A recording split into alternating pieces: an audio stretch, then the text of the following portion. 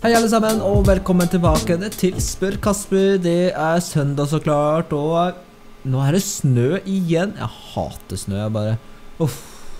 Men jeg ikke påvirke dere. La oss starte. Sebastian Vikse.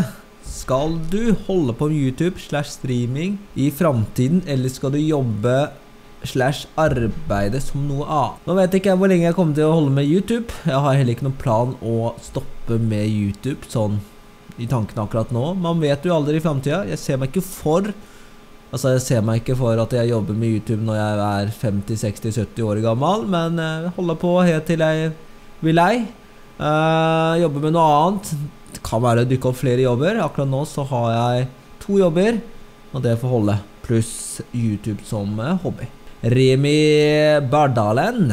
Når skal vi ta en kaffekopp sammen? En kaffekopp, uh, Remi, det hørte veldig smart ut og godt ut. Uh, kan ikke ta kontakt med meg en dag, så tar vi og tar en kaffekopp, og så tar vi prate om det vi snakket om. Det hadde vært eh, kult.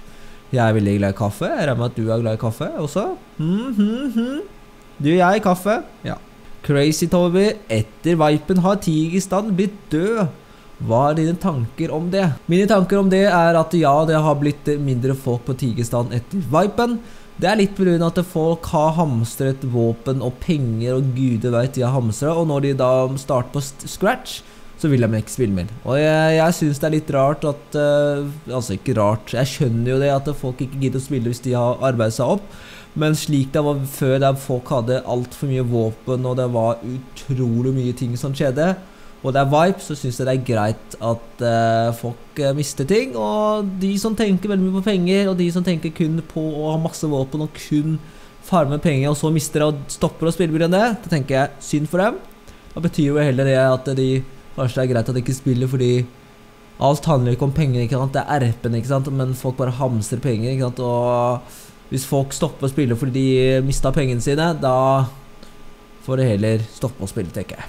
Mods hvor lenge har du spilt GTRP?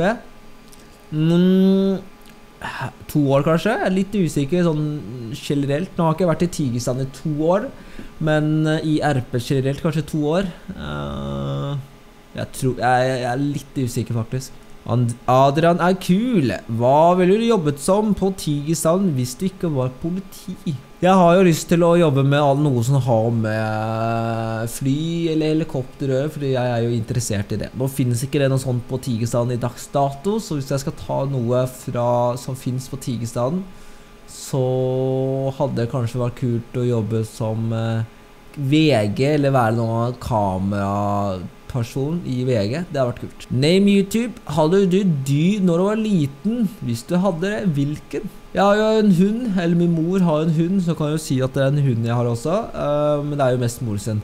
Uh, jeg har hatt uh, to nelater. Jeg har hatt, skil, har hatt skilpadde da jeg var liten.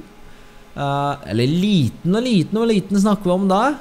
Skilpadde og, og, sånne ting. Da, og under las så var jeg jo ikke så liten. Hund. Da er mamma sin hund. Det er nok den nærmeste jeg kommer, for da var jeg mindre. Rolf Tore, tenker, flytte, tenker, du å flytte fra Tigerstrand og til en annen by? Hvis du flytter, så flytter jeg også. Jeg har ikke tenkt å flytte eller bytte server. Eh, jeg har prøvd andre server, og det er viktig å prøve andre server, mener jeg. Men jeg syns det at uh, Tigerstrand er en veldig fin server. Jeg liker moderatorer, jeg liker staffen. Eller jeg liker staffen, heter det kanskje. Jeg liker de som driver hele serveren, altså hele staffen, da.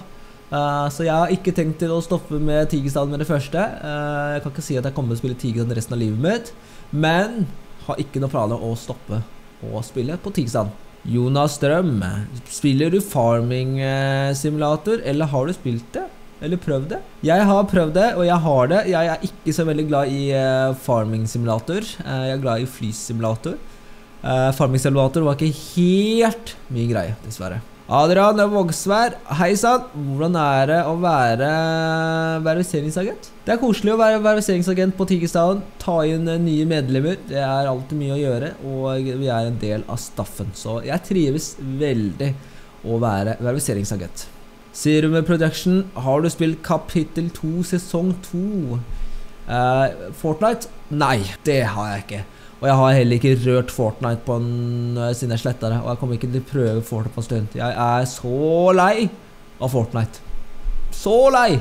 Og Derfor tenker jeg at vi stopper her. Tusen takk for at dere stilte flere spørsmål i dag. Håper dere er flinke til neste episode. Oi. Neste episode. Hashtag spør Kasper de spørsmål. Jo mer spørsmål, jo lengre. Så får dere kose dere i det fine været, enten om det er snø eller ikke snø. Ha det bra.